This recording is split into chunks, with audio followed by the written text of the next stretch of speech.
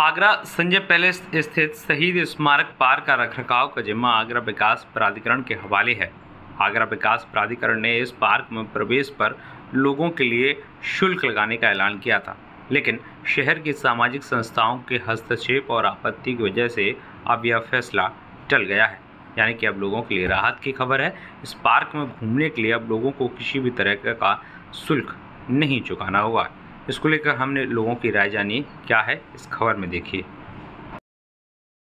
मैं तो बस इतना ही कहना चाहता हूँ कि ये जो उन लोगों ने शहीद स्मारक पार्क में जो कि टिकट लगाने के लिए वो किया था तो ये नहीं होना चाहिए। ये हम लोगों के लिए पार्क है यहाँ पर शहीदों की मूर्तियाँ वगैरह हैं लोग देखने आते हैं यहाँ लाइब्रेरी भी है। लाइब्रेरी में भी लोग बैठते हैं और यहाँ पर जो भी टिकट का तो कोई सवाल ही नहीं होता कितने सालों से आप यहाँ आ रहे हैं? मैं 2008 से आ रहा हूँ।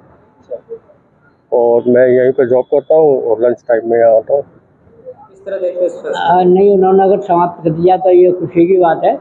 नहीं लगी है तो अच्छी बात है क्योंकि यहाँ सांस्कृतिक कार्यक्रम होते रहते हैं राजनीतिक पार्टियों के कार्यक्रम होते ही रहते हैं यहाँ पर। तो इसलिए टिकट ना लगे अच्छी बात है। दूसरा ये लाइब्रेरी है। यहाँ फिर लोग अखबार पढ़ने आएँगे तो वो फिर आप बिल्कुल ही बंद हो जाएँगे आना टिकट लगेगा तो फिर कौन आएगा यहाँ? हैं। हाँ। सभी लोग आते हैं वाचनालय फिर कोई आएगा नहीं यहाँ पर। सुबह भी लोग हैं। हैं?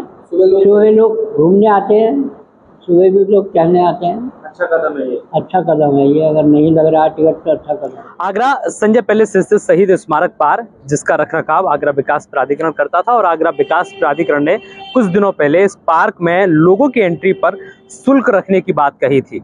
तमाम जो शहर की सामाजिक सेविक संस्था हैं, उन्होंने आपत्ति दर्ज की है और अब एक बार फिर से फैसला आया कि इसमें अब टिकट एंट्री पर नहीं ली जाएगी। अब इससे जुड़ा आपको इतिहास बता देते हैं। बात अंग्रेज़ों के ज़माने की है और यहाँ पर देश की आज़ादी में लड़ाई लड़ रहे जो स्वतंत्रता सेनानी थे, उनको यहाँ पर यातनाएँ दी जाती थी और यहीं पर उस वक़्त जेल हुआ करती थी और उन जेलों में उन्हें यहाँ पर स्वतंत्रता सेनानियों को कैद करके रखा जाता जाता था।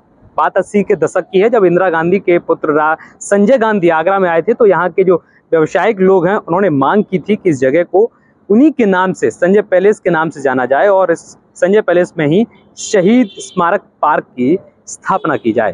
तो कहा जाता है, तब से इस जगह का नाम शहीद स्मारक पार्क हो गया और वो आज तीन पत्ती पार्क के तौर पर भी से हम जानते हैं, देखते हैं। तो अब एक बार फिर से लोगों के लिए एक सहूलियत की खबर है कि इसमें आने वाले लोगों को अब शुल्क नहीं देना होगा। मैं हरिकांत शर्मा न्यूज़ एटीन आगरा